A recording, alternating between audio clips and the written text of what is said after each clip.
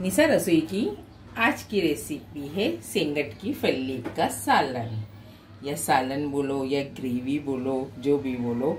ये सेंगट की फल्ली है और ये है सात से आठ लहसुन की कलियाँ, अदरक का टुकड़ा, दो मीडियम साइज़ की प्याज को मैंने काट ली हूँ और ये है धनिया, ये है सेंगट की फली ये है सफ़ेद तिल, ये है मूंगफली, ये है ज़ीरा, ये कोकोनट पाउडर है।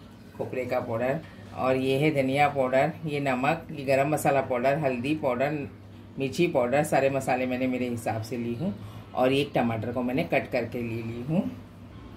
सेंगट की फली को इस तरीके से मैं कट कर लूँगी और हल्के हल्के ही इसके छिलके उतार लूँगी, ज़्यादा छिलके नहीं निकालूँगी। आगे और पीछे का भाग मैं कट कर लूँगी और इस तरीके से मैं हल्का हल्का इसको छिलके ले लूँगी। मैंने ऑन कर दी हूँ। अब मैं मसालों को भून लूँगी। हल्का मैं ऑयल डाल दूँगी और प्याज को भून लूँगी। सारे मसाले भी मैं प्याज में ऐड कर दूँगी और इसको भी मैं अच्छी तरीके से भून लूँगी। अच्छे से मैं मसालों को भून लूँगी। सारे मसालों को मैंने अच्छे से भून चुकी हूँ। अब मैं गैस बंद कर दूँगी और इसको ठंडा होने के लिए छोड़ दूँगी। मसालों में मैं अदरक, लहसुन और धनिया,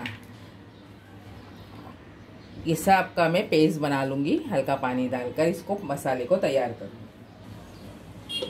मसाले को मैंने अच्छी तरीके से पीस ली हूँ और फली को भी मैंने छील ली हूँ हल, हल्का हल्का ही मैंने ये निकाली हूँ फली का।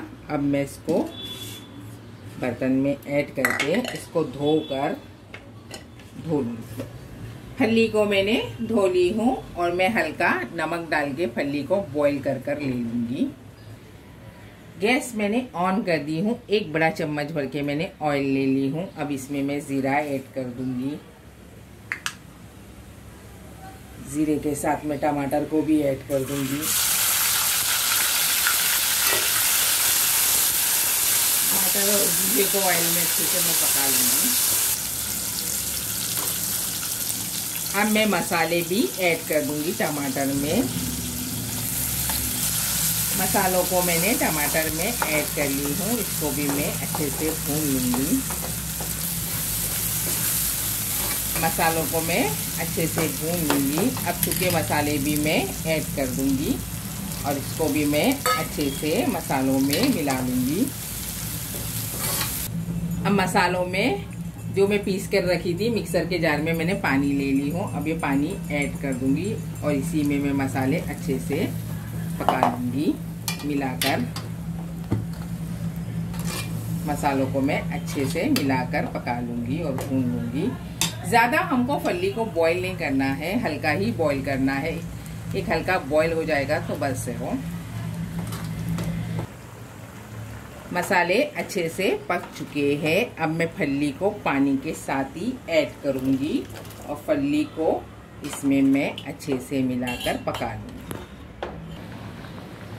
फली अच्छी खासी गल चुकी है और ये सालन रेडी हो चुका है। सेंगट की फली का अब मैं आपको सर्व करके सालन को दिखाती हूँ। सिंगट की फली का सालन रेडी हो चुका है। देख सकते हैं आप ये कितना बढ़िया बन चुका है। लाइक करो सब्सक्राइब करो, ज़्यादा से ज़्यादा मेरी वीडियो को शेयर करो।